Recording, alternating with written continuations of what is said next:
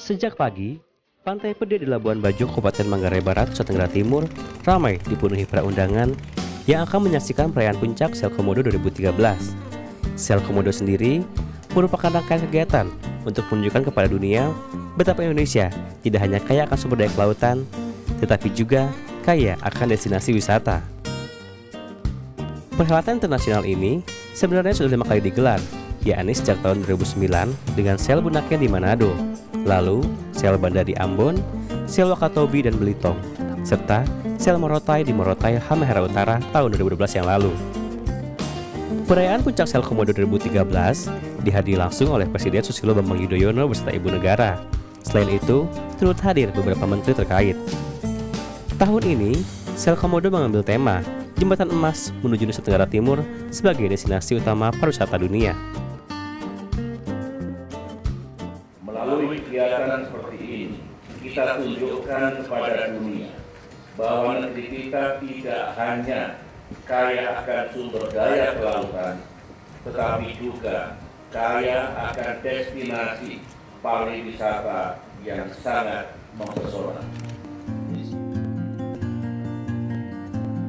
Selain itu, dengan sel Komodo, Provinsi NTT menjadi pintu gerbang selatan untuk mempromosikan kekayaan dan keragaman bahari kepada masyarakat dunia.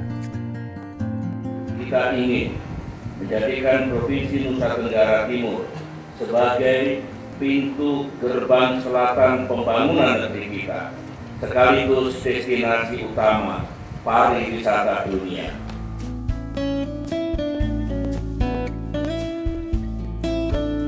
Secara khusus, Sel Komodo 2013 menjadi sarana untuk lebih peduli terhadap Komodo, fauna prasejarah yang masih hidup dan telah ditetapkan UNESCO sebagai salah satu warisan dunia. Sejatinya, Sel Komodo 2013 mulai berlangsung sejak 28 Agustus dan berakhir 19 September 2013.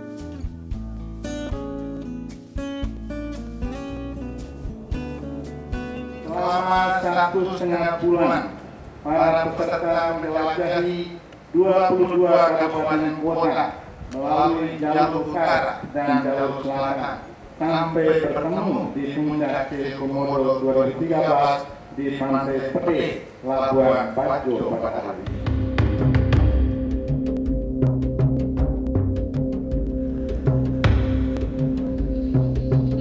Rally Yacht sendiri melibatkan tiga operator, yaitu Sail Indonesia Back to Down Under Rally dan Darwin Ambon Yacht Range.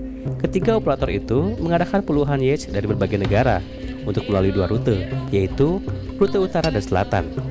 Rute utara meliputi Kupang, Wini di timur tengah utara, Atapupu di Kabupaten Belu, Kalabahi, Kabupaten Alor, Lewoleba Lembata, Laratuka di Polres Timur, Maumere Kabupaten Sika, dan berakhir di Labuan Bajo, Kabupaten Manggarai Barat, Nusa Tenggara Timur.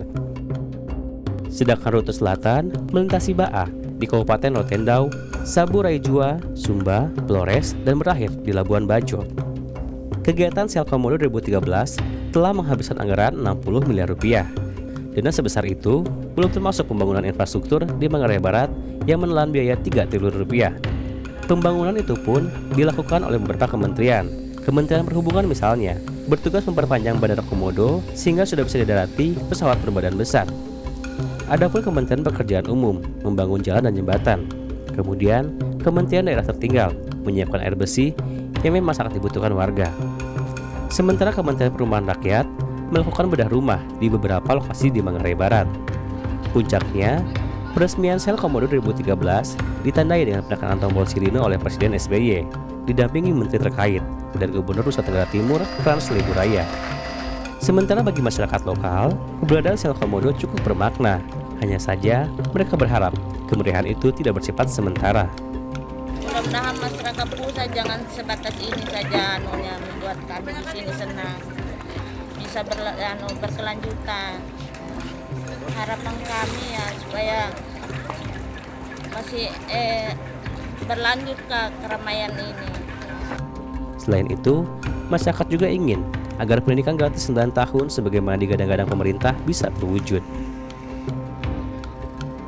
Kami minta juga kami punya daerah Manggarai Barat ini seperti Manggarai anu kabupaten yang lain biaya sekolahnya bebas kalau sebatas SMP kita yang kami harapkan.